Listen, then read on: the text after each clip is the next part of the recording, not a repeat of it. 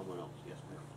You mentioned Sarah Palin, Mm-hmm. and there are lots of people who are talking about how she's been sequestered for a period of time. And then in contrast, her opening speeches and then her um, forthcoming interviews.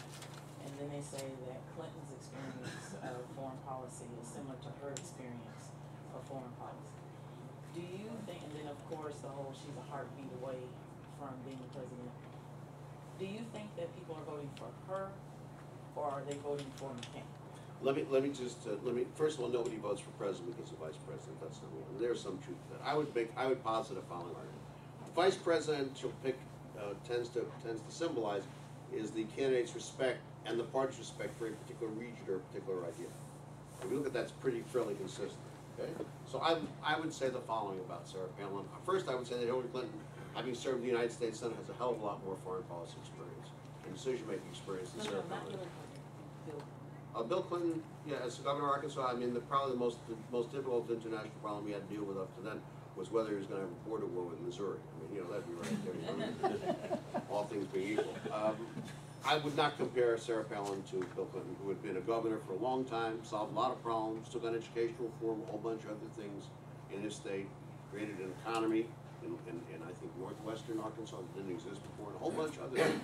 So I would compare the two. What I would say about Sarah Palin is very important because it relates to what I said before and because it's important for you to remember as, as people think about these things seriously, which you all apparently do, or you wouldn't be here on a rainy day. She is Nixon in new form. What do I mean by that? She represents that class distinction that I keep talking about, the bias. That's why she's so excited, these guys.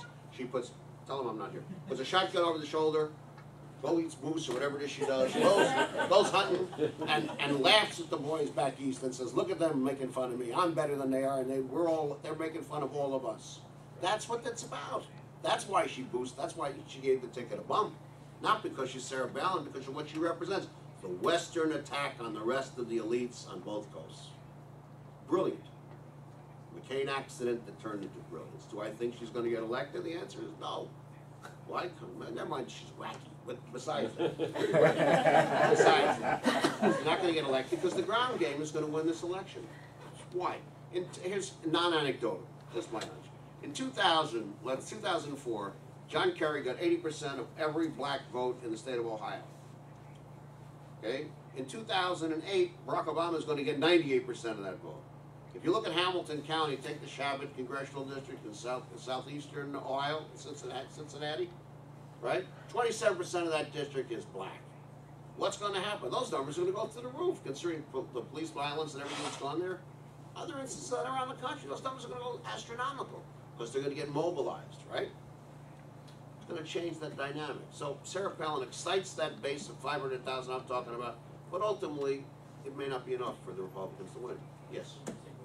One more? Okay, you gotta go to work around here, right? I'm not going to work, I'm going to sleep, right? Yeah, I'm scheduled for sleep the rest of the day, go ahead. Hi, Jillian Carr, I actually work with Ronn at five W. How lucky. On that note, um, in terms of the mobilization, and kind of piggybacking off that idea, how much? Rosenstone was the political scientist who wrote it. Mobilization, this book about mobilization, what he says in the book is that the party's failure to act requires that individuals and other organizations take action. And that's why people turn out, because they're mobilized, yeah. How much do you think technology is gonna play an X factor in this game? The. Obama girl, for example, Facebook, things that maybe structured formal campaigns don't.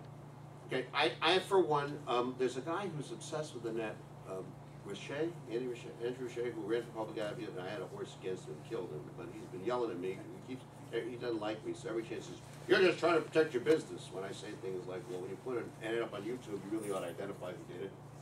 You know, it's called, if you gotta do that in television, you really got to do it on the internet, he says, you're trying to stop free speech, no, I believe the internet works, I think the web works, but not in that way. Because you can't put a computer on top of your head and say, okay, the web is now telling me to go vote. You need a human being to bang on the door and say, get your ass out there, What about Facebook? Facebook, looking, I'm not putting my face in there because I don't wanna scare people. But I, it is a way to connect people. Does it, I believe that virtual communities at every level of political campaign, above the level probably city council, have some value. The larger campaign, the greater value they have, and they ought to be done more quickly in the course of a campaign, because our campaigns are now going If you're running for president, you're running for eighteen years, you know, if you're running for, no, seriously, you're running about a year and a half to two. Governor, you're running about a year and a half to two. Senator, you're running for two years, because it takes time to get the money. So you have to have a staff to get the money, so they gotta do something else in the meantime as well, so they get their money's worth, right? So virtual communities and building them is very important. Do I think they're gonna impact turnout? The answer is no. Do I think they're gonna impact interest? Yes. Is interest turnout? The answer is no. You get turnout, hello, I know you're interested, come out, okay? And you grab them until they're tired of coming out. Why? Because democracy has to be a not, has to be a not a spectator sport, but a participatory effort. And the problem with Facebook and that technology, going back to Robert Putnam and Bowling Alone and all that other stuff you read or heard about, you gotta get people interested, you gotta get them involved, you gotta get them away from entertainment. Democracy requires commitment. I believe in bipartisanship, and I believe in commitment, and I believe in participation. And I thank you very much. Have a great night.